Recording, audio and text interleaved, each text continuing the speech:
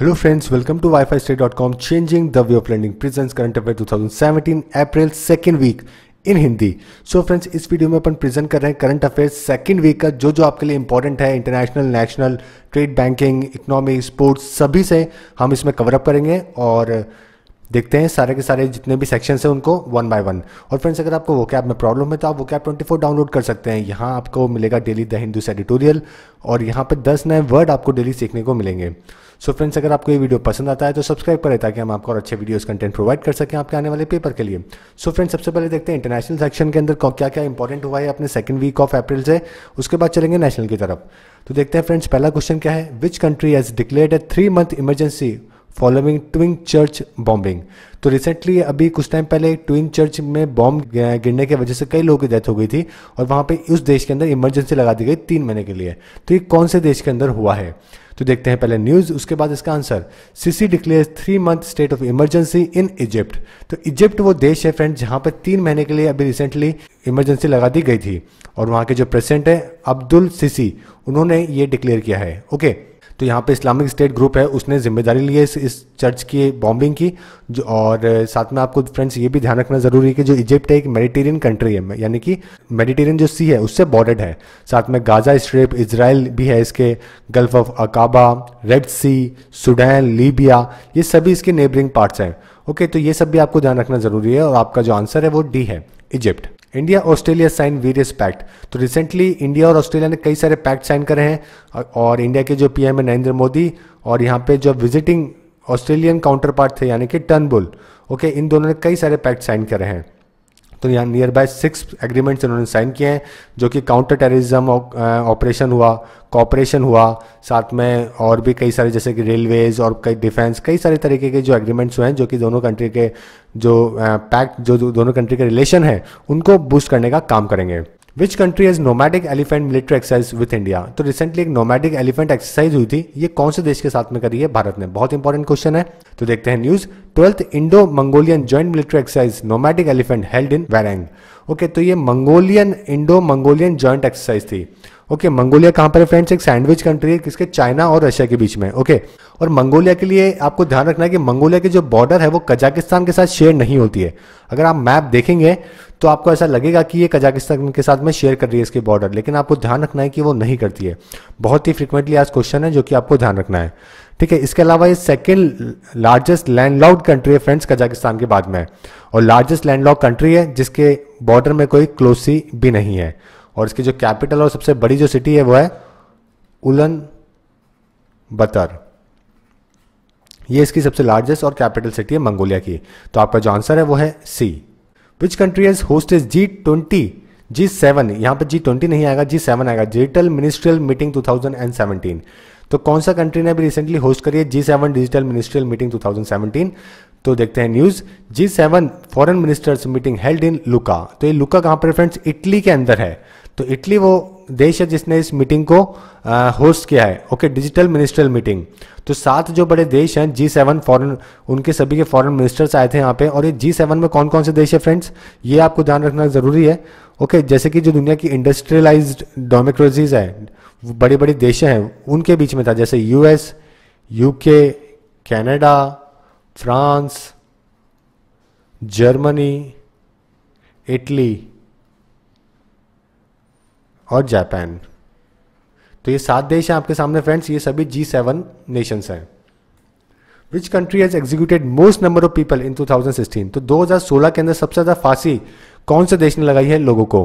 तो देखते हैं news China Iran Saudi Arabia executed most people in 2016 okay तो अगर एग्जीक्यूशन की बात करें फ्रेंड्स तो चाइना ने इतने लोगों को एग्जीक्यूट किया है जितने दुनिया के बाकी सारे देशों ने मिलकर किया है। ईरान ने 567 लोगों को किया है, सऊदी ने 154 लोगों को किया है, ठीक है? तो सबसे ज़्यादा एग्जीक्यूशन जो किया है वो चाइना ने किया है। तो आपका जो आंसर है वो चाइना है। और यहाँ पे आपके लिए ये बात भी देखना ज़रूरी है फ्रेंड्स कि इंडिया की अगर अपन बात करें तो इंडिया एग्जीक्यूशन में ज़्यादा बिलीव नहीं रखता है। ओके पिछले दस सालों में अपन ने तीन ही एग्जीक्यूशन तीन लोगों को फांसी दी है। जिसमें आपको नाम पता होंगे, उनके बहुत फ़ेमस फ़ेमस ये लोग थे, जैसे कि अजमल कसाब और साथ में उसके बाद में याकूब मैनन ओके और धनंजय चैटर्जी करके थे, एक उनको दस सेंटेंस दिया गया। तो जो ये सब लोग थे जिनके काफ़ी जो हीनियस क्राइम करा इन लोगों ने हीनियस क्राइम था इनका। जैसे अजमल कसाब टेररिस्ट ऑपरेशन आपको पता ही 2008 के अंदर मुंबई टेररिस्ट अटैक कई लोगों की जान ली गई। इसी वजह से गवर्नमेंट को और अपने सुप्रीम कोर्ट को ये वर्डिक्ट सुनाना पड़ा। अदरवाइज़ इंडिया एग्जीक्यूशन में बिलीव नहीं रखता है। अफजल गुरु 2013 के अंदर पार्लियामेंट अटैक तो इन सब लोगों ने बहुत ही हीनियस क्राइम किए थे। इस वजह से इनको डेथ सेंटेंस दिया गया। और अगर अपन बात करें फ्रेंड्स की एग्जीक्यूशन की तो कई सालों तक तो इंडिया ने एग्जीक्यूशन भी नहीं किया। कई 2016 के अंदर अपन ने एक भी एग्जीक्यूशन नहीं दिया है ओके इसके अलावा 2004 से लेकर 2012 तक तो अपन ने एक भी किसी को एग्जीक्यूट नहीं किया है।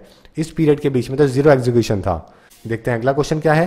Which country signed MOU with India to upgrade Indian railways तो इंडियन रेलवेज को अपग्रेड करने के लिए इंडिया ने कौन से देश के साथ में एमओयू साइन किया है? रिसेंटली तो देखते हैं friends the France India ink pact to upgrade railways, जो फ्रांस के मिनिस्टर है स्टेट और ट्रांसपोर्ट के मेरिन अफेयर्स के, ओके, उन्होंने साइन किया है अपने सुरेश प्रभु के साथ में एमओयू ताकि थोड़ा इंडियन रेल्स का सेमी हाई स्पीड रेल बन सके मॉडर्नाइजेशन हो सके इंफ्रास्ट्रक्चर डेवलप हो सके, ओके सेफ्टी को ध्यान में रख सके, इन सभी को लेकर एक एमओयू साइन किया है इंडिया और फ्रांस के बीच में। तो आपका जो आंसर है वो है इंडिया फ्रांस यानी कि फ्रांस आपका आंसर है। और साथ में आपको ध्यान रखना है, फ्रेंड्स, इंडिया ने स्पेन के साथ में भी काफ़ी कुछ कोलैबोरेशन किया था टेलगो रेल को लेकर। टेलगो एक ऐसी ट्रेन है जो कि इंडिया की फास्टेस्ट ट्रेन जिसको कह सकते हैं अपन। ओके तो ये इसका जो रूट है, दिल्ली और मुंबई, इसके बीच में इसको टेस्ट किया गया था, जहाँ पे फ्रेंड्स काफ़ी अच्छा इसका परफॉर्मेंस रहा। और जो 16 घंटे की जर्नी थी, वो इसने 12 घंटे में कवर अप कर दी टेलगो ने। ओके तो टालगो ट्रेन स्पेन की है फ्रांस की नहीं है, ये क्वेश्चन फ्रेम अप हो सकता है, क्योंकि रेलवेज को लेकर बात चल रही है। ठीक है तो आपको ध्यान रखना है। और ये जो ट्रैक है, जो दिल्ली से बॉम्बे वाला, ये 1400 किलोमीटर का ट्रैक था फ्रेंड जो कि 12 घंटे में कवर अप किया टेस्ट जब इसको किया किया गया था टैलगो को। अब देखते हैं friends national news which city is hosting second national children film festival okay तो कौन सी सिटी है जो कि second national children film festival जिसने होस्ट किया है? तो ये विशाखापट्टनम है। ओके विशाखापट्टनम वो सिटी है जिसने इसको होस्ट किया तीन दिन का चिल्ड्रन फ़िल्म फेस्टिवल था। ठीक है, यहाँ पे ओपनिंग फ़िल्म थी Shanu the optimist directed by the K N T Shastri produce by the C F S I in two thousand sixteen which it is hosting Nim Nim care world health day summit two thousand seventeen तो निम care क्या है friends एक ये निम care के बारे में है कि नॉन प्रॉफिट ऑर्गेनाइजेशन जो कि 2009 में सेटअप करी गई थी 2009 के अंदर। ओके चैरिटेबल ट्रस्ट है जो कि गवर्नमेंट ऑफ़ तमिलनाडु के जो, के अंडर इसको रजिस्टर्ड है ये। ठीक है, इसके अंदर जो डॉक्टर्स हैं और जो ये हेल्प करते हैं, जो अंडर प्रिवलेज बच्चे हैं, लोग हैं ओके उनको हाई क्वालिटी हेल्थ केयर की फैसिलिटी प्रोवाइड करते हैं एजुकेट करते हैं लोगों को हेल्थ केयर प्रोफेशनल्स को। तो एक बहुत अच्छी प्रॉफिट ऑर्गेनाइजेशन है नेम केयर ओके तो name care world health day summit 2017 observe किया गया और ये कौन सिटी में इसको, ये सबमिट हुआ है? ये न्यू दिल्ली के अंदर हुआ है।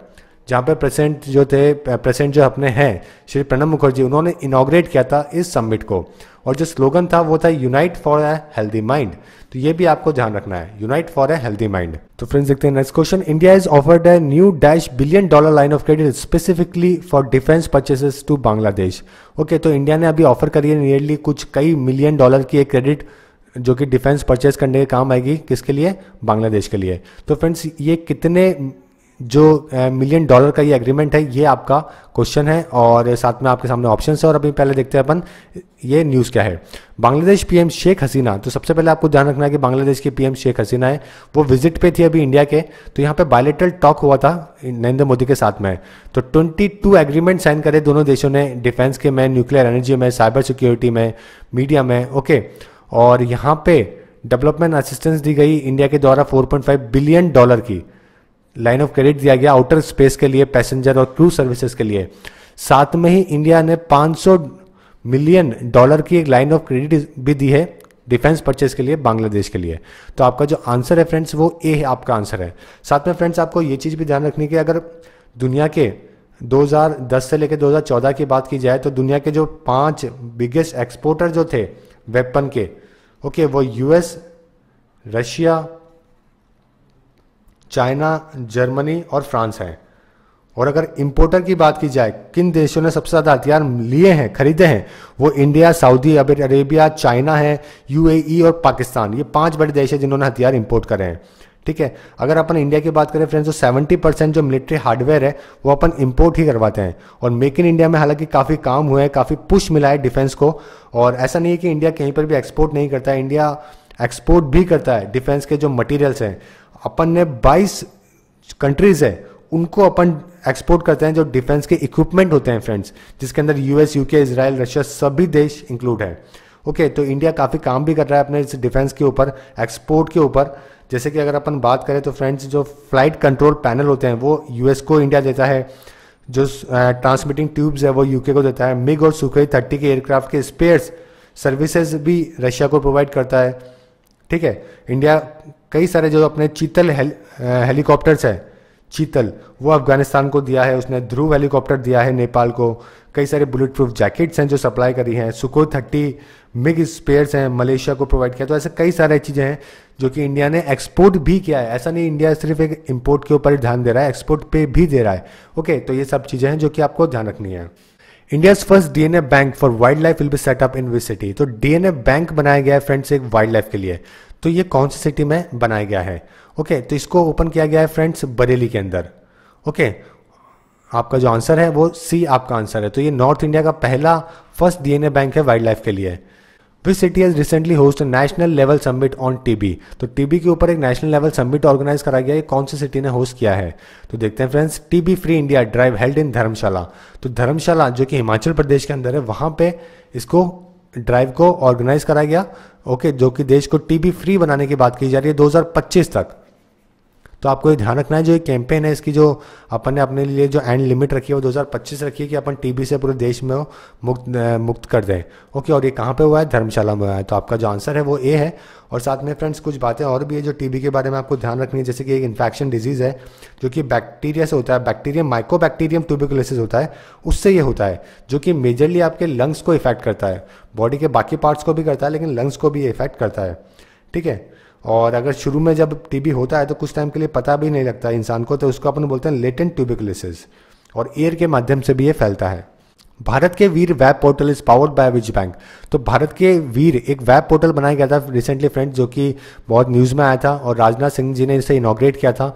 ये वेब पोर्टल बनाया गया उन फैमिलीज़ के लिए जो कि सोल्जर की फैमिलीज़ थी जिन्होंने अपनी life line of duty line on duty के ऊपर गवा दी है। देश में जो शहीद हो गए हैं देश के ऊपर, ओके, उन लोगों की फैमिली को अच्छी फाइनेंशियल हेल्प प्रोवाइड करने के लिए देश के लोग कंट्रीब्यूट कर सकते हैं डोनेट कर सकते हैं यहाँ पे कुछ मनी जो कि आप भारत के वीर वेब पोर्टल या ऐप के थ्रू डोनेट कर सकते हैं। ओके, और ये टेक्निकली सपोर्ट किया गया है इसको नेशनल इन्फॉर्मेशन सेंटर के द्वारा और powered by the state bank of India okay तो एसबीआई बैंक के द्वारा पावर्ड है। तो आपका जो आंसर है वो बी है। State bank of India PM to launch digital exhibition on Champaran Satyagraha तो पीएम ने रिसेंटली अभी लॉन्च किया था डिजिटल एग्जीबिशन चंपारण सत्याग्रह के ऊपर।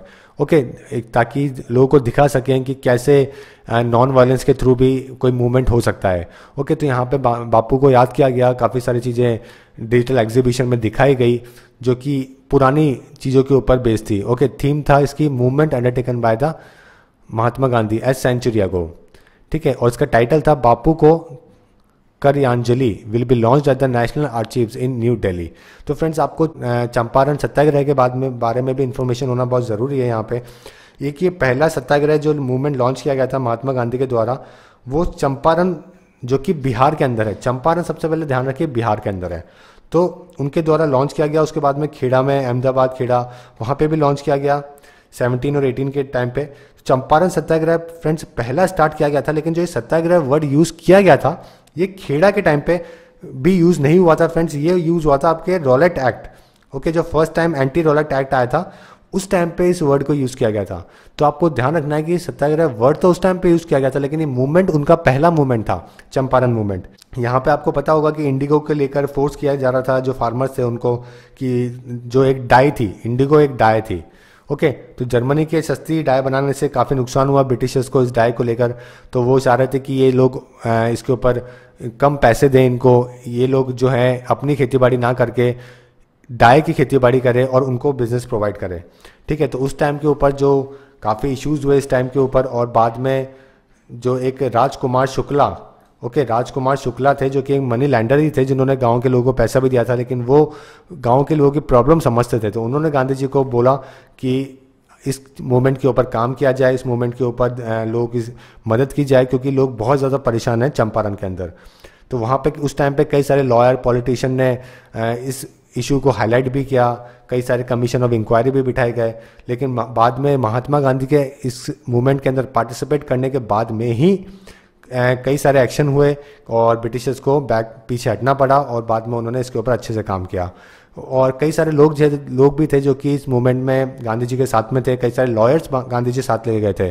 जैसे कि ब्रिज किशोर प्रसाद, राजेंद्र प्रसाद राजेंद्र प्रसाद अपने, ठीक है, अनुराग नारायण थे और साथ में राम नवमी प्रसाद थे। तो कई सारे इमिनेंट आचार्य, कृपलानी थे। तो कई सारे इमिनेंट लोग थे जो कि इस मूवमेंट में जुड़े हुए थे। Which state has started Deendayal Rasoi Yojana तो दीनदयाल रसोई योजना कौन से स्टेट ने स्टार्ट करी है रिसेंटली जहाँ पे सस्ते में खाना प्रोवाइड किया जाएगा, जो इकोनॉमिकली जो lower section of the society है उन लोगों को? ओके तो ये मध्य प्रदेश स्टेट है फ्रेंड जिन्होंने दीनदयाल रसोई योजना स्टार्ट करी है, जहाँ पे पाँच रुपये पर प्लेट में खाना प्रोवाइड करा जाएगा economically disadvantage section of the society को। ठीक है, और अम्मा कैंटीन रिसेंटली लॉन्च करी गई थी, और रिसेंटली जो लॉन्च करी गई थी, काफ़ी टाइम पहले, माफ़ कीजिएगा अम्मा कैंटीन थी जो कि जयललिता ने लॉन्च करी थी काफ़ी टाइम पहले। उसी की तर्ज के ऊपर ये फ़ूड प्रोवाइड किया जाएगा। ओके तो आपका जो आंसर है वो मध्य प्रदेश है। City has hosted international convention on world homoeopathy day तो वर्ल्ड होम्योपैथी डे पे इंटरनेशनल कन्वेंशन हुआ है ये कौन सिटी ने होस्ट किया है? ओके okay, तो सबसे पहले होम्योपैथी के बारे में जानना ज़रूरी है फ्रेंड्स होम्योपैथी के जो फाउंडर थे वो कोई इंडियन नहीं है। और ये जब इवेंट हुआ है इंटरनेशनल ये 262 बर्थ एनिवर्सरी थी, किसकी? फाउंडर जो थे होम्योपैथी के डॉक्टर क्रिश्चियन फैड्रिक। ओके, एक जर्मन फिजिशियन थे, उनके द्वारा इसकी जो ये टेक्निक है, मेडिसिन की, इसको ईजाद किया गया था, इसको इसको फाउंड किया गया था, ओके? तो इस, उन्हीं की जो बर्थ एनिवर्सरी है, उसके ऊपर एक कन्वेंशन किया गया और ये न्यू दिल्ली में करवा गया। न्यू दिल्ली ने इसको होस्ट किया है। तो आपको चीज़ें ध्यान रखनी है कि सबसे पहले तो वर्ल्ड होम्योपैथी डे और साथ में आपको फाउंडर कौन है, ये चीज़ ध्यान रखनी है। साथ में ये AYUSH ministry ministry of state for AYUSH, इन्होंने इसको ऑर्गेनाइज करवाया है। ठीक है? तो साथ में आयुष के बारे में भी ध्यान रखना है। आयुष मिनिस्ट्री जो है वो नाइन्थ नवंबर 2014 को फाउंड करी गई थी और किस चीज़ के लिए? कई सारे हेल्थ केयर टेक्निक्स है, जैसे कि अपनी आयुर्वेदा, योगा नेचुरोपैथी यूनानी, सीधा और होम्योपैथी इन सभी को मिला के आयुष फुल फॉर्म बनाए गए और इन सभी के ऊपर काम किया गया। पहले इस डिपार्टमेंट का जो नाम था वो था Indian system of medicine and homoeopathy जो कि 1995 में क्रिएट किया गया था। बाद में उसी को रीनेम करके department of Ayurveda yoga naturopathy Unani Siddha और होम्योपैथी बनाया गया। ओके okay, तो ये सब इन्फॉर्मेशन आपको ध्यान रखनी है और इसकी जो थीम थी वो थी enhancing quality research in homoeopathy through scientific evidence and rich clinical experiences तो ये इसकी थीम थी। Which portal launch on the occasion of 250 anniversary of survey of India तो 250वीं एनिवर्सरी के ऊपर सर्वे ऑफ़ इंडिया के द्वारा कौन सा पोर्टल लॉन्च किया गया? तो देखते हैं news Naksha portal launch by the doctor Harshvardhan on two fifty anniversary of survey of India तो नक्शा नाम का एक पोर्टल बनाया गया है लॉन्च करा गया है सर्वे ऑफ़ इंडिया की ढाई एनिवर्सरी के ऊपर। ओके तो आपका जो आंसर है, वो बी है। Ministry of Rural Development has released rupees dash crore to the state as a first tranche for the financial year 17-18 under MNREGA तो कितने करोड़ रुपए इस सेंटर के द्वारा मिनिस्ट्री ऑफ़ रूरल डेवलपमेंट के द्वारा दिए गए under the MNREGA project okay तो देखते हैं news rupees two three double four three crore release for MNREGA for mission water conservation okay तो मनरेगा के लिए जो मिनिस्ट्री ऑफ़ रूरल डेवलपमेंट है इन्होंने इतना अमाउंट ओके okay, इतना अमाउंट जारी किया है 23,443.09 करोड़ ठीक है और मनरेगा के लिए दिया गया है और यहाँ पर जो मेजरली फोकस करा गया है वो वाटर कंजर्वेशन को लेकर किया गया है। ठीक है और यहाँ पे priority work force on water conservation measures ये सब भी बहुत इंपॉर्टेंट है। ओके okay, कि वाटर कंजर्वेशन यहाँ पे मोटिव ज़्यादा रखा गया है मनरेगा के अंदर कि इस चीज़ के ऊपर बेसिकली काम किया जाए। What is a new number of centrally sponsored schemes तो नए रिसेंटली अभी नए जो सेंट्रली स्पॉन्सर्ड स्कीम्स है उनका नंबर घटा दिया गया है। तो ये कितना नंबर है जो कि नया नंबर है? तो देखते हैं news the government has reduce the number of centrally sponsored schemes to 28 umbrella scheme from 66 तो पहले 66 स्कीम थी जो कि सेंट्रल स्पॉन्सर्ड थी अभी घटा के उसको 28 कर दिया गया है।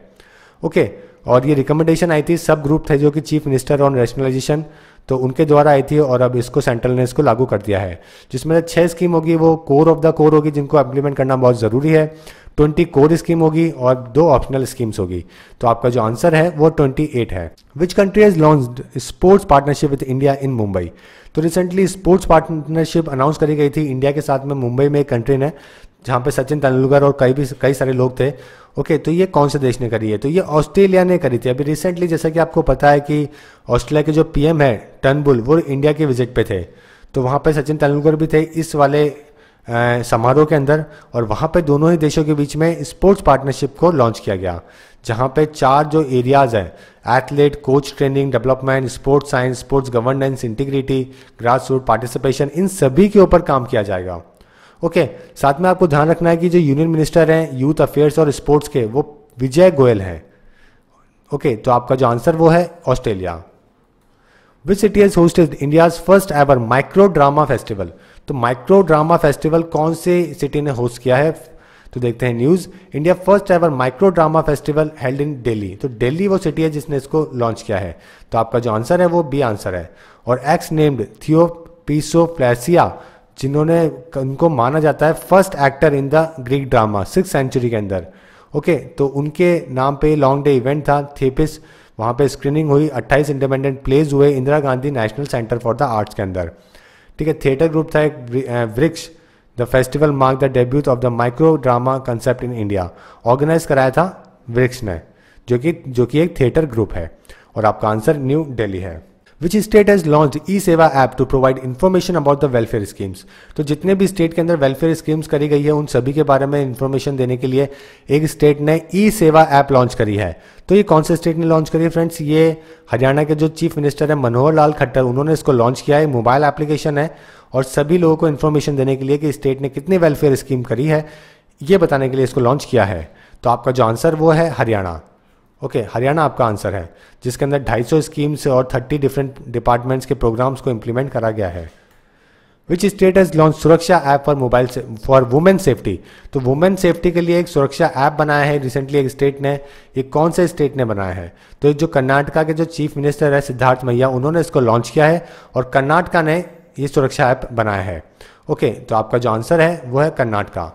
Who has become the world most followed leader on Instagram तो इंस्टाग्राम के ऊपर दुनिया में सबसे ज़्यादा फॉलो और कौन से लीडर के हैं? तो आपका जो आंसर है वो है पीएम मोदी नरेंद्र मोदी वो पर्सन है जो कि सबसे ज़्यादा फॉलो किए जाते हैं इंस्टाग्राम के ऊपर। ओके okay, सबसे ज़्यादा और इंस्टाग्राम क्या है? फ़ोटो शेयरिंग ऐप है। फ़ोटो शेयरिंग ऐप है friends last year Modi third पे थे और अभी सेकंड नंबर पे यूएस प्रेसिडेंट डोनाल्ड ट्रंप है। Who will be the head of a panel to recommend regulation for virtual currencies तो recently virtual currencies का काफ़ी ज़ोर चल रहा है दुनिया में। पिछले जो अपना फ़र्स्ट वीक मैंने बनाया था उसमें आपको बिटकॉइंस के बारे में मैंने काफ़ी इन्फॉर्मेशन दी थी। ओके okay, तो बिटकॉइंस को लेके रेगुलेशंस को लेके एक पैनल बनाया गया ताकि वर्चुअल करेंसी को थोड़ा सा देखा जाए। तो इसके हेड कौन बनाए गए हैं? तो देखते हैं news the government has decided to close the regulatory gaps to keep a check on virtual currencies including bitcoins and set up time bounded interdisciplinary committee to recommend an, an action plan for dealing with such currencies. Okay, to examine the existing framework for virtual currencies, the Department of the Economic Affairs in the Ministry of Finance has constituted an interdisciplinary committee chaired by the Special Secretary, Economic Affairs, Dinesh Sharma. तो दिनेश शर्मा जी हैं जो कि special economic secretary हैं उन्हों को इसका head बनाया गया है और अभी कौन सा फ्रेमवर्क है जो इस पर काम कर रहा है? फ्यूचर में आपको कैसा काम करना चाहिए? ओके ये सब चीज़ों के लिए ये कमेटी बनाई गई थी और आपका आंसर है स्पेशल इकोनॉमिक सेक्रेटरी अब देखते हैं next question which state has launch Adarana scheme तो कौन सा स्टेट है जिसने अधरना स्कीम को लॉन्च किया है? रिसेंटली देखते हैं इसकी news Andhra CM launches Adarana scheme तो जितने भी जो lower section of the society है, जो बैकवर्ड क्लासेस है, उनको अपब्रिंगिंग के लिए, उनको ऑल राउंड डेवलपमेंट के लिए इस स्कीम को लॉन्च किया गया है Adarana a scheme for improving traditional occupation okay जो ट्रेडिशनल ऑक्यूपेशन है, उनको इम्प्रूव करने के लिए, जो कि बैकवर्ड क्लासेज इसके ऊपर काम कर रही थी तो उनको इम्प्रूव करने के लिए स्कीम को लॉन्च किया गया है फ्रेंड्स और ये आंध्र प्रदेश ने किया है तो आपका जो आंसर है, वो बी है। Which state has launch Ammaku Vandanam scheme तो ये अमाकू वंदनम स्कीम कौन से स्टेट ने लॉन्च किया है? ये एक मदर को रिलेटेड स्कीम है फ्रेंड्स एक ट्रिब्यूट है जो कि प्रोग्राम चलाया गया था to pay tribute to mothers okay okay, तो मदर्स को ट्रिब्यूट देने के लिए ये स्कीम को लॉन्च किया गया है। इसके अंदर गवर्नमेंट रन जो स्कूल्स हैं उनके अंदर इसको इंट्रोड्यूस किया गया है और इस स्कीम के अंदर क्या होगा कि जो बच्चे होंगे वो ब्लेसिंग लेंगे अपनी मदर के और साथ में पदा पूजा भी करेंगे यानी कि उनके वॉश हर फीट उनके जो फीट है, उनको वॉश करना होगा और उनकी ब्लेसिंग लेनी होगी। तो ये स्कीम लॉन्च करी है, आंध्र प्रदेश ने ही। तो आपका जो आंसर है, वो है B which state has launch Durga Vahini squad तो कौन से स्टेट है जिसने एक दुर्गा वाहिनी स्क्वाड लॉन्च किया है, ताकि जो लड़कियाँ हैं, उनको एक अच्छी सेफ्टी मिल सके और वहाँ पे उनको यूटीजिंग और किसी भी तरीके का प्रॉब्लम का सामना ना करना पड़े। तो BJP government of Haryana announce the launch of a Durga Vahini police squad that would aim to stop harassment of women on public spaces तो जैसे कि एंटी रोमियो स्क्वाड बनाई गई यूपी के अंदर, वैसे ही हरियाणा ने भी इस स्क्वाड बनाई है, जिसका नाम दिया है दुर्गा वाहिनी स्क्वाड ताकि वुमेन को, औरतों को पब्लिक स्पेसेस में, जगह में वहाँ पे ये सब हरेसमेंट का सामना ना करना पड़े। तो आपका जो आंसर है वो हरियाणा है। बी आपका आंसर है। In which city Cisco has launch a global cyber range lab तो जो कि यूएस बेस्ड एक टैक जाइंट है सिस्को उसने रिसेंटली एक अपना ग्लोबल साइबर रेंज लैब बनाए हैं इंडिया के अंदर, ताकि इंडियन फर्म्स को, गवर्नमेंट को, एजेंसीज को ट्रेन कर सके वर्ल्ड के जो भी साइबर अटैक्स होते हैं, उन सब चीज़ों से बचाने के लिए। तो ये गुरुग्राम के अंदर, जिसका पहला नाम गुड़गांव था, वहाँ इसको सेटअप किया गया है। तो आपका जो आंसर है, वो है C. What is the outlay of a Bhim cash app and referral bonus for six month तो कितने आउटले बजट बनाया गया है भीम के कैशबैक और रेफरल बोनस देने के लिए अगले छः महीने के लिए? जैसे कि आप सभी को पता है भीम एक Aadhaar digital payment platform launch किया गया है पीएम मोदी के द्वारा, जिसमें अगर आप अपना अंगूठा यूज़ करेंगे थम यूज़ करके भी अपना पेमेंट कर सकते हैं। ओके तो यहाँ पे 75 टाउनशिप को कैशलेस बनाने को लेकर और देश में डिजिटल पेमेंट को बढ़ावा देने के लिए 126वीं एनिवर्सरी थी बर्थ एनिवर्सरी इसकी भीमराव अंबेडकर जी की। तो वहाँ पे नागपुर के अंदर इसको लॉन्च किया गया। ठीक है, यहाँ पे दो इनिशिएटिव्स लॉन्च करे गए इंसेंटिव्स लॉन्च करे गए। एक तो कैशबैक का और एक रेफरल बोनस का, जिसका आउटले 495 करोड़ रखा गया है अगले छः महीने के लिए। तो आपका जो आंसर है, वो है सी 495 crore which company has adopted Harisal village in Maharashtra to develop as India's first idle digital village? तो कौन सी कंपनी ने इंटरनेशनल कंपनी ने अडॉप्ट किया है? महाराष्ट्र का एक विलेज जिसका नाम है हरिसल विलेज ताकि उसको इंडिया का पहला आइडल डिजिटल विलेज बना सकें। ओके तो ये काम करने वाली जो कंपनी है, वो है माइक्रोसॉफ्ट ओके माइक्रोसॉफ्ट ने अडॉप्ट करा है इस विलेज को। तो आपका जो आंसर है, वो है ए माइक्रोसॉफ्ट ने इसको अडॉप्ट किया है। The Green Tribunal, the National Green Tribunal has imposed a fine of rupees dash crore on a Tihri Hydro Development Corporation तो नेशनल ग्रीन ट्रिब्यूनल ने इम्पोज किया है 50 लाख रुपए का fine T H D C के ऊपर यानी कि Tehri hydro development corporation limited के ऊपर okay for disposing debris and muck excavated out of construction road for power house of the Chamoli based Vishnugad Pipalkoti hydro electric project in the Alaknanda river okay तो Alaknanda river के अंदर ये सब डिब्रेज डालना और वहाँ पे गंदगी फैलाना ओके और रोड बनाने के लिए काफ़ी वहाँ पे चीज़ों को डिस्ट्रक्ट करने के लिए ओके एक्सकावेट करने के लिए, इन सभी के वजह से नेशनल ग्रीन ट्रिब्यूनल जो कि एक बॉडी है जिसके चेयरमैन ओके स्वातेंद्र कुमार है। स्वातेंद्र कुमार जिसकी चेयरपर्सन है नेशनल ग्रीन ट्रिब्यूनल जिसका काम ग्रीनरी बनाए रखने का है। ओके, देश के अंदर जो हरियाली है इन्वायरमेंट है रिवर्स है, इन सभी को पॉल्यूट ना किया जा सके, पेड़ों को ना काटा जा सके, गंदगी ना हो फॉरेस्ट के अंदर, इन सभी का ध्यान रखने का नेशनल ग्रीन ट्रिब्यूनल का काम है। पोल्यूशन का चेक करने का काम है। ओके, जैसे कि ज़्यादा पोल्यूशन ना हो माउंटेन एरिया के अंदर तो यहाँ पे इन लोगों ने फाइन लगाया है फिफ्टी लाख रुपीज़ का। तो आपका जो आंसर है, वो है B which state has launch Taare Zameen Par programme तो कौन सा स्टेट है जिसने लॉन्च किया है तारे जमी पर प्रोग्राम तो ये झारखंड पुलिस का इनिशिएटिव है फ्रेंड्स तारे जमी पर प्रोग्राम जिसमें जो बच्चे हैं, जो कि नक्सल अफेक्टेड एरियाज़ के अंदर है, उनको पढ़ाना, लिखाना एंकरेज करना, अच्छे जीवन जीने के लिए ओके और ये जो नक्सलाइट्स वाले जो मोटिव जो इनके तौर तरीके हैं, उनको छोड़ के एक अच्छी जीवन जीने के लिए ये प्रोग्राम लॉन्च किया गया, जिसका नाम है तारे जमी पर तो आपका जो आंसर है, वो है झारखंड अब देखते हैं फ्रेंड्स ट्रेड एंड बैंकिंग से related news India is recently signed a 175 million dollar loan agreement to support construction of high voltage transmission system with तो इंडिया ने रिसेंटली एक 175 मिलियन डॉलर का लोन लिया है एग्रीमेंट लिया है ओके okay, कंस्ट्रक्शन के लिए हाई वोल्टेज ट्रांसमिशन सिस्टम के लिए. तो ये कौन से ऑर्गेनाइजेशन से लिया है? ओके okay, तो देखते हैं news India and ADB sign 175 million dollar loan agreement for solar transmission system तो सोलर ट्रांसमिशन के लिए इंडिया ने एशियन डेवलपमेंट बैंक के साथ में ये लोन को साइन अप किया है. ओके और आपका जो आंसर है वो एडीबी है एशियन डेवलपमेंट बैंक साथ में आपको ध्यान रखना है कि एशियन डेवलपमेंट बैंक का जो हेडक्वार्टर है वो मलीला के अंदर है, जो कि फिलीपींस के अंदर है. पर्पस है इसका सोशल इकोनॉमिक डेवलपमेंट और मेंबर इसके 67 नेशंस है, जो कि इसके मेंबर है इस ऑर्गेनाइजेशन के ए डी बी के इसके चेयरपर्सन अभी तकाही को नकायो है तो ये इन्फॉर्मेशन आपको ध्यान रखनी है। देखते हैं next which bank has collaborated with B S N L to upgrade bandwidth at all its branches तो कौन सा बैंक है जिसने कोलैबोरेट किया है बी एस एन एल के साथ में ताकि वो अपग्रेड कर सके अपनी बैंडविथ की सभी ब्रांचेस के अंदर? तो कैनरा बैंक है फ्रेंड जिसने ये टाइप किया है, और एक ये पब्लिक सेक्टर बैंक है, और जिसका हेडक्वार्टर जिसका हेडक्वार्टर कहाँ पर है? बेंगलोर के अंदर है। कैनरा बैंक का। और इसको जो स्टैब्लिश किया गया था, वो मैंगलोर के अंदर किया गया था फ्रेंड्स पहली बार। और 1906 में इसको स्टैब्लिश किया गया था। अभी इसके जो सीईओ हैं, वो राकेश शर्मा है। राकेश शर्मा इसके सीईओ है राइट नाउ कैनरा बैंक के। और आपका आंसर है इस क्वेश्चन का Canara bank what is the limit on cash transaction तो रिसेंटली गवर्नमेंट ने क्या किया है? अभी रिसेंटली जितने भी कैश ट्रांजेक्शन है, उसके ऊपर लिमिट लगा दी है। Ban on cash transaction in excess of rupees 2 lakh will be not be applicable to withdraw from a bank and post office saving account the income tax department said तो income tax department ने कहा है कि आप bank से और post office के saving account से दो लाख रुपए से ज़्यादा का कैश नहीं ले पाएँगे Okay, uh, through the Finance Act 2017, the government has banned cash transaction of rupees 2 lakh and said a penalty of equal amount would be levied on the receiver.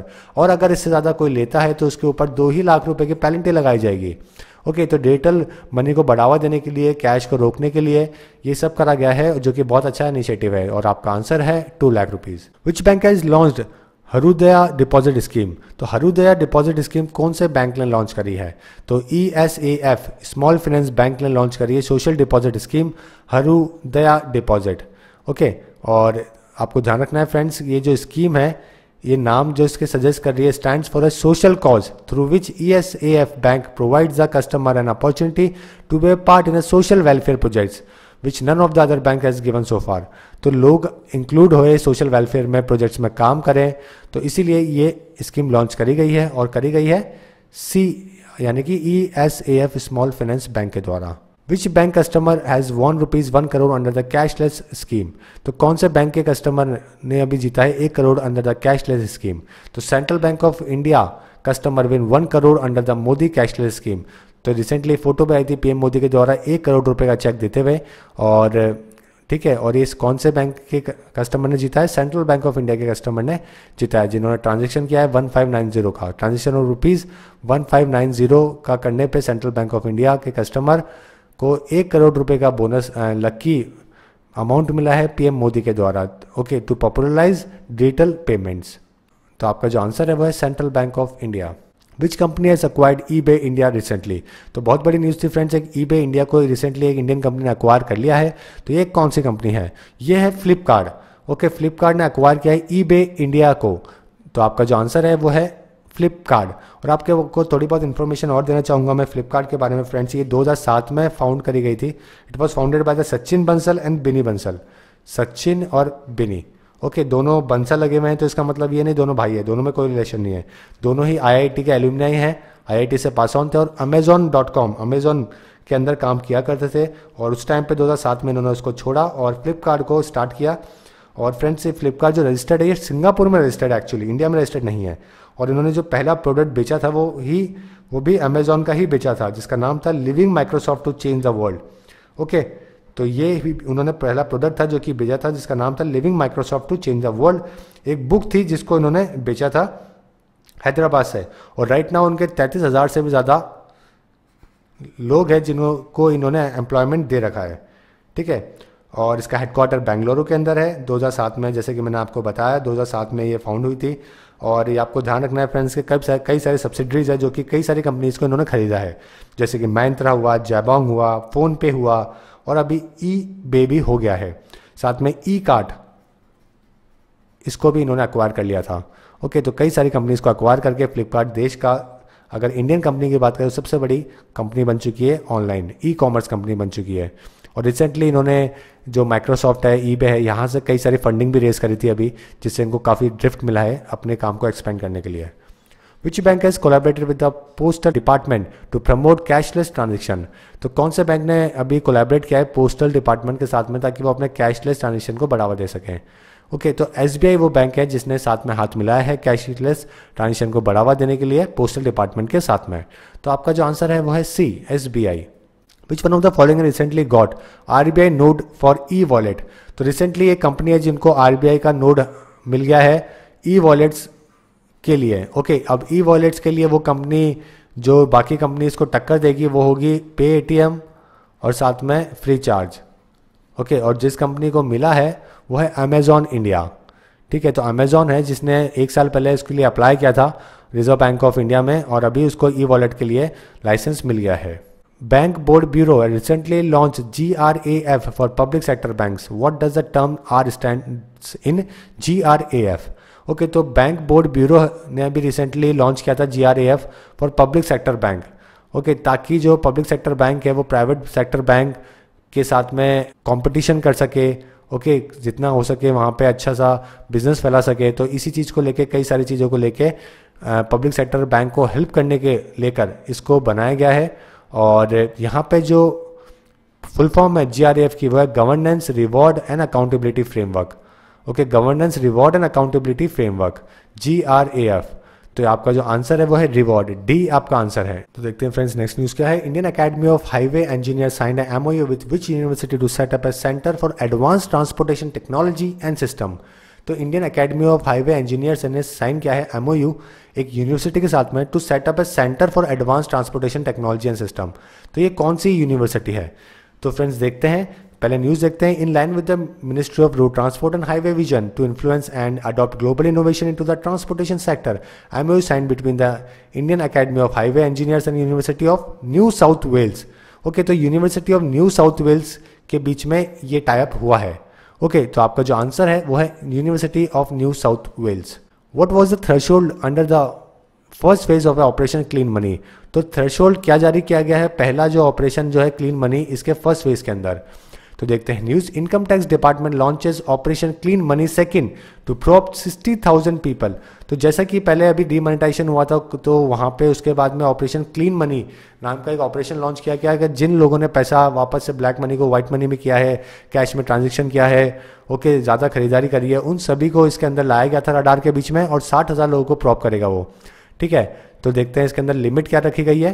The threshold under the first phase of the operation which began on thirty first January and ended on fifth fifteen February was kept at the deposit of five lakh rupees okay तो पाँच lakh rupees रखे गए थे threshold तो आपका जो answer है वो है डी अब देखते हैं appointments recently which one of the following has been appointed as UN messenger of peace by United Nations तो रिसेंटली यूएन जो मैसेंजर बनाई गई है by the United Nations okay तो यूएन मैसेंजर ऑफ़ पीस किन को बनाया गया है? By the United Nations okay बहुत बड़ा किताब है फ्रेंड जो कि सेक्रेटरी जनरल जो यूनाइटेड नेशंस के एंटोनियो गुटरेस उन्होंने सेलेक्ट करा है.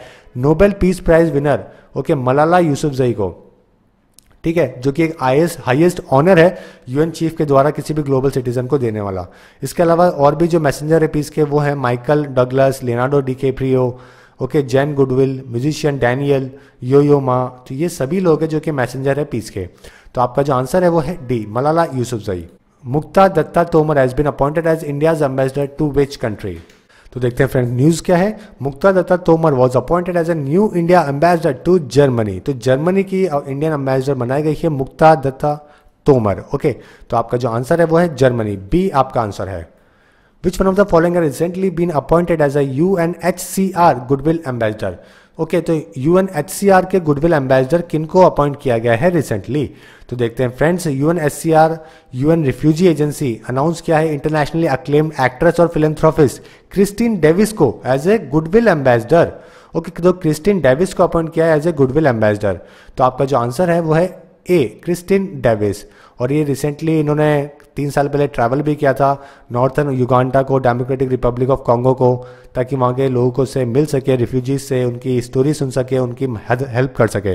तो इसी चीज़ को लेके इनको बनाया गया है यू एन की goodwill ambassador which one of the following has recently been appointed as R B I executive director तो recently R B I executive director किन को अपॉइंट करा गया है? तो देखते हैं news the reserve bank of India is appointed Malvika Sinha as executive director following the appointment of Kanungo BP Kanungo as deputy governor okay तो अभी जो बनाया गया है वो मालविका सिन्हा को बनाया गया है तो आपका जो आंसर हुआ वो तो सी हुआ एग्जीक्यूटिव डायरेक्टर लेकिन साथ में आपको ये भी ध्यान रखना है कि जो डिप्टी गवर्नर बनाए गए हैं वो कौन है? कनुंगो है कनुंगो ओके okay, तो दोनों ही चीज़ें आपके लिए इंपॉर्टेंट है। अभी रिसेंटली एमडी कौन बनाए गए हैं? सरस्वत कोऑपरेटिव कोऑपरेटिव बैंक है। सरस्वत कोऑपरेटिव बैंक फ्रेंड्स सबसे लार्जेस्ट अर्बन कोऑपरेटिव बैंक है। ओके okay, तो इनकी अभी एक वुमेन है जो कि फ़र्स्ट वुमेन चीफ बनाई गई India's largest urban cooperative bank की। तो ये कौन है? ये स्मिता संधाना ओके okay, स्मिता संधाने हैं जो कि एमडी का चार्ज लेगी और इंडिया के लार्जेस्ट जो अर्बन कोऑपरेटिव बैंक है इसकी हेड बनेगी। तो आपका आंसर है B which one of the following has been appointed as a member of central board of direct taxes recently तो सी बी डी टी की रिसेंटली अभी एक अपॉइंट करे गए हैं। मेंबर ये कौन करे गए हैं? तो देखते हैं न्यूज़ अजीत कुमार श्रीवास्तवा और Sabari Bhattasali named as a new C B D T chairperson okay तो साथ में अजीत कुमार है और साबरी बातासवली है।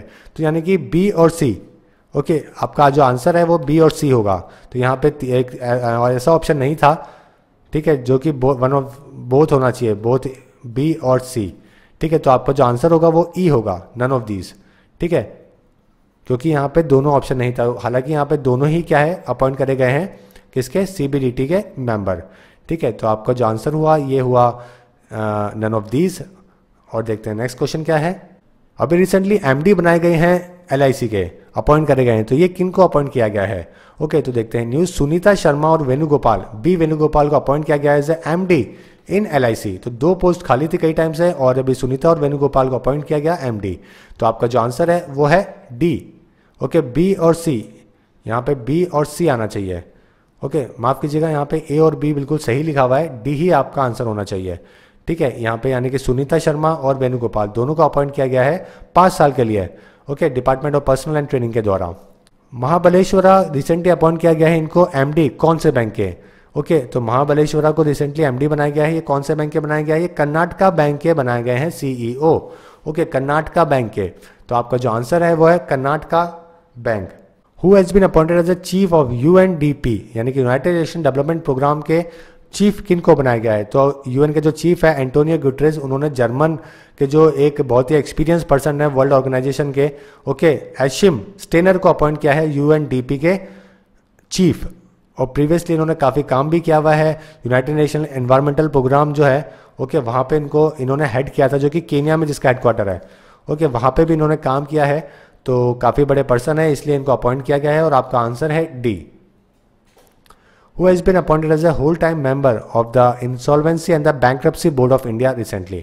Okay तो टाइम मेंबर किनको अपॉइंट किया गया है? इस बोर्ड के अंदर ये मकुलिता विजय वर्गीय को अपॉइंट किया गया है होल टाइम मेंबर तो आपका जो आंसर है वो है बी बी आपका आंसर है, जिनको फुल टाइम मेंबरशिप दी गई है insolvency and bank board of India की न्यू दिल्ली के अंदर। अब देखते हैं फ्रेंड्स अवार्ड से related question 64 national film award recently announce करे गए थे फ्रेंड जो कि आपके लिए इंपॉर्टेंट है, जिसके अंदर कई सारी चीज़ें हैं जो कि आपको ध्यान रखनी है, जैसे कि बेस्ट फीचर फीचर फ़िल्म कासव, जो कि एक मराठी मूवी है।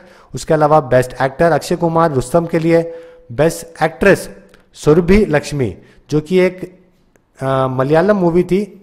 ओके मलयालम। ओके मिनाना मिनांगू। तो इस मूवी की एक्ट्रेस को, इस मूवी के लिए सुरभि लक्ष्मी को बेस्ट एक्ट्रेस का अवार्ड दिया गया।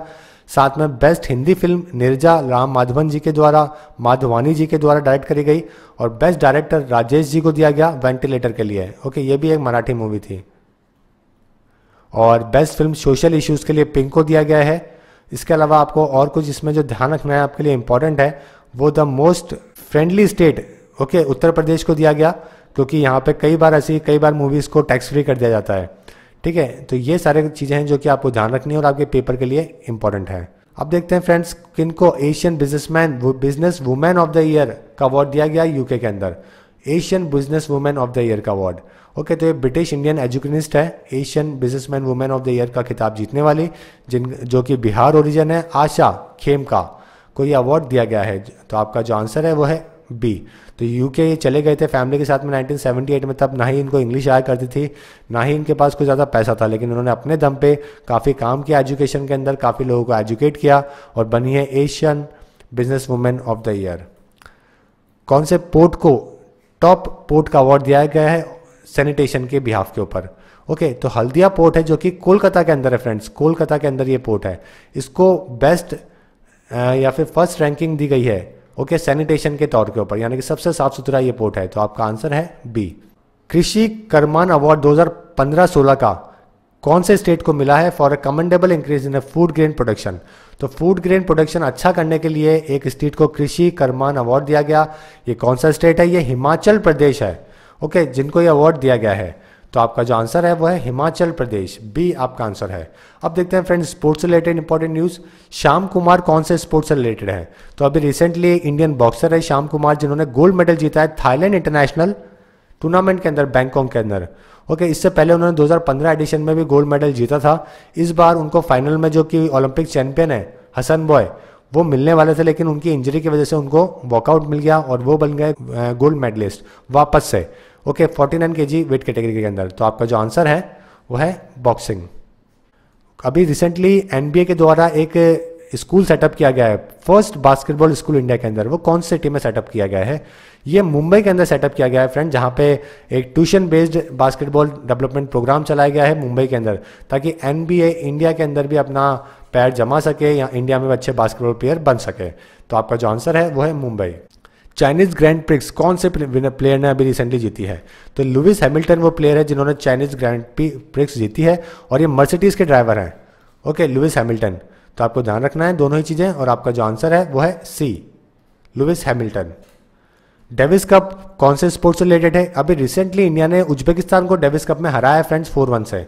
ओके और ये इंडिया ने जो हराया था, ये ओशा एशिया ओशियाना ग्रुप में हराया था बैंगलोर के अंदर। ठीक है, अब इंडिया आगे बढ़ गया है और अब वर्ल्ड ग्रुप के प्ले ऑफ़ में इंडिया खेलेगा। और ये कौन से स्पोर्ट्स में हुआ है? टेनिस के अंदर हुआ है।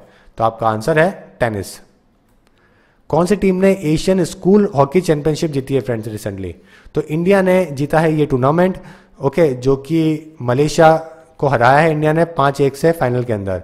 ठीक है तो बहुत बड़ा टूर्नामेंट था स्कूल के लिए और एशिया स्कूल चैंपियनशिप जीती भारत ने। तो ये आपका आंसर है। अब देखते हैं फ्रेंड डेथ से related important question Akhilesh Das Gupta की रिसेंटली डेथ हुई, ये कौन थे? ये बैडमिंटन एसोसिएशन के प्रेसिडेंट थे फ्रेंड जिनकी रिसेंटली डेथ हुई है। और बहुत और बहुत ही फ़ेमस पर्सन थे एजुकेशनिस्ट थे प्रोफेसर थे पॉलिटिशियन थे और फिलेंथ्रोफिस्ट थे। और साथ में जो पहले फॉर्मर चीफ मिनिस्टर थे, उनके बेटे थे। तो आपका जो आंसर है, वो है पॉलिटिशियन अब देखते हैं फ्रेंड्स बुक से related important questions who is the author of the book title the framing traces of Draupadi तो ये जो किताब लिखी गई है, ये इसके ऑथर कौन है? तो Veerappa Moily presents copy to is new book to the president तो वीरप्पा मोहली, जो फॉर्मर यूनियन प्रेसिडेंट थे सीनियर कांग्रेस लीडर है, उन्होंने ये किताब लिखी है और प्रेसिडेंट को ये पहली कॉपी इसकी दी है। और इसके अंदर जो बताई गई है, वो कैरेक्टर बताया गया, द्रौपदी का जो महाभारत में कैरेक्टर है, उसके बारे में यहाँ पे डिस्क्राइब किया गया है। तो आपका जो आंसर है, वो है Veerappa Moily. Who is the author of the book hope in a challenge democracy यानी इंडियन नरेटिव तो ये किताब जो है किन के द्वारा लिखी गई है? ओके okay, तो देखते हैं news the vice president of India Hamid Ansari receive the first copy of the book title hope in a challenge democracy and Indian narrative authored by Shri Ashwani Kumar former PM okay former जो पहले secretary थे PM के किसके? मनमोहन सिंह के। Okay okay, तो आपका जो answer है वो है अश्वनी कुमार देखते हैं next question the hit girl is an autobiography of which actress तो रिसेंटली एक ऑटोबायोग्राफी लॉन्च करी गई हिट गर्ल के नाम से। तो ये किसकी ऑटोबायोग्राफी है? ओके okay, तो फ्रेंड सलमान खान ने इस ऑटोबायोग्राफी को लॉन्च किया और ये आशा पारेख की बायोग्राफी है। ओके okay, आशा पारेख की बायोग्राफी है जो कि बॉलीवुड एक्ट्रेस थी डायरेक्टर प्रोड्यूसर थी। टॉप स्टार थी बॉलीवुड की 1960 से 70 के बीच में। और 1992 के अंदर इनको पद्मश्री से भी नवाजा गया इनके काम को लेकर। ओके okay, तो आपका जो आंसर है वो है Asha Parekh. Who is the author of the book book Matoshree तो रिसेंटली मातोश्री नाम की बुक है जो कि किन के द्वारा लिखी गई है?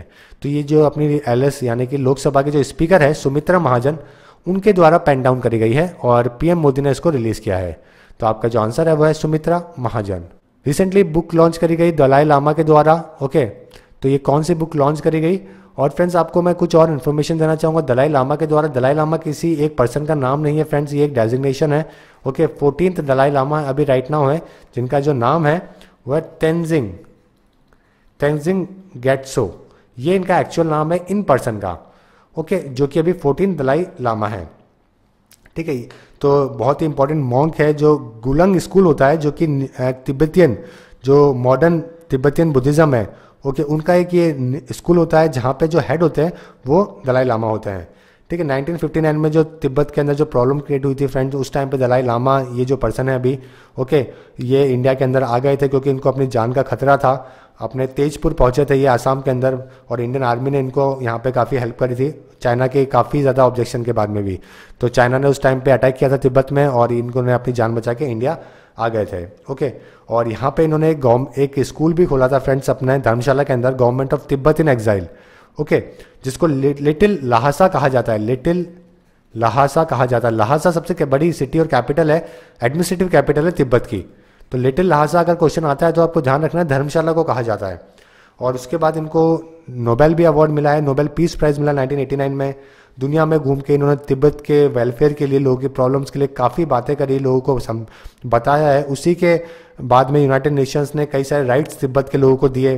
जनरल असेंबली ने तीन बार रेजोल्यूशन पास किया okay on the basis of general assembly के जो रूल्स हैं, उनके बिहाफ पे। तो वहाँ पे कई सारे राइट्स दिए गए तिब्बत के लोगों के लिए। तो ये सारे काम थे जो कि दलाई लामा ने प्रेजेंट दलाई लामा ने किए हैं। और अभी जो उन्होंने बुक रिलीज़ करी है, वो ocean and blue mountain ocean and blue mountain नाम की जो बुक है, जो कि पब्लिश करी गई है department of Karmik and Adhyatmik affairs in the presence of chief minister and other dignitaries तो ये बुक लॉन्च करी गई है। यहाँ पे इनके द्वारा। सो so फ्रेंड्स ये सारा इंपॉर्टेंट कंटेंट था जो कि अपना सेकेंड वीक ऑफ़ अप्रैल से था और काफ़ी इंपॉर्टेंट कंटेंट है। उम्मीद है आपको पसंद आया होगा। So friends thank you and all the best